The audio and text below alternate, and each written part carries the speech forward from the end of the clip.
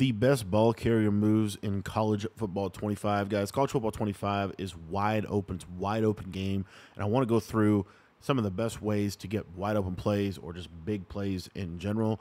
And to do this, I'm going to show you the best ball carrier moves in the game. Ball carrier moves every year. There's always a couple that are really good, and in this game there are a ton that are really good. So I don't, don't really worry about the playbook. I'm just going to show you kind of how I'm going to use them, and I'm just going to run some stretches here. So Donovan Edwards, my opinion, the best back in the game. But basically, the the main thing you want to be doing is you want to, unlike in Madden, you want to be holding turbo for these for these moves. So what you're going to do is you're going to run, hold turbo, and then you're just going to juke inside or juke outside. That is super, super good. And I'll show it to you this side here. Let's get a little more space, get him out. Juke inside. Oftentimes that juke will be so like wide, he'll take a much wider juke. The other thing that I would say is when you're juking, like really exaggerate, like even bring your left joystick back across.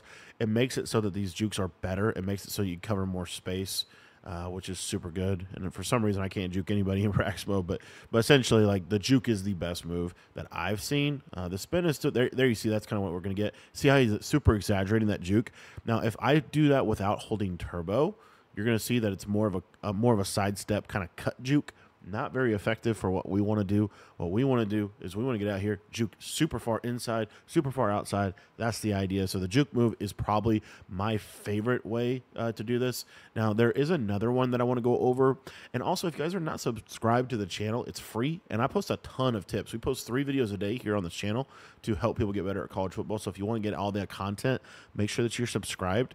And then I do have ebooks on my Skool website, which is skool.com slash Cody Ballard. Already got day one ebooks out. Super good. Uh, but anyways, you see how good this juke is. The juke is really good. Okay.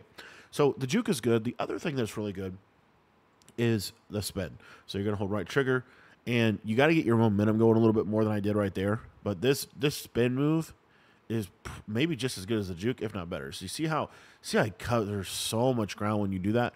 Now the key to the spin move is the same key to the juke move, and that is to hold the trigger. So we want to hold the trigger when we're doing this, and we really want to exaggerate kind of that rotation of our left joystick. From my perspective, I think it really helps. But as you see, it's really good and really helpful for like situations like that where you kind of get pinned at the line of scrimmage. You can use that spin move to get out. Uh, and there you see, and you can you kind of you can also string these moves together. So like let's say what one thing that I think is really good is you would spin and then immediately juke outside. So you'd spin inside and then juke outside. I think that's one of the best ways to utilize these like combo moves. So you see here, let's see if I can get it, juke or, or spin inside, and then I was going to juke outside. So obviously you're not going to break every tackle, but this is going to consistently, like in the open field, this is going to get you a broken tackle. Okay, uh, but these two moves, in my opinion, are the best. As you see, look at that juke move. That turned like a, a five yard loss into a huge gain. Another thing that's going to happen in college football 25 is it has to do with like ball carrier momentum, is what I think. But basically, with with like ball carrier momentum, you're going to break a lot of tackles just cause. So that's another reason why you don't have to overdo it with the moves. Like just one juke, and then you see how his momentum is going to carry him for five yards. Really good running the ball. If you guys aren't catching up what I'm saying here, running the ball is really good, and you can do this with quarterbacks too. Uh, Milroe, Q, or, Orgy, uh, these these quarterbacks, you could do this with these guys, and uh, really really good. So pretty simple. But I just wanted to drop a video on the best ball carry moves in Madden, just so that you can start making people miss, because uh, I do think this is one of the best methods to do that, using these spins, using these jukes, uh, and then normally what you want to do is is do this in the open field. Now, one other thing I forgot to mention not every player can do these jukes and spins. Okay, so you're looking for high agility, high spin move, high juke move to have somebody that can do this. But when you have players that can do these juke moves, especially like wide receivers, it really helps them in the open field. Like really, really helps them in the open field.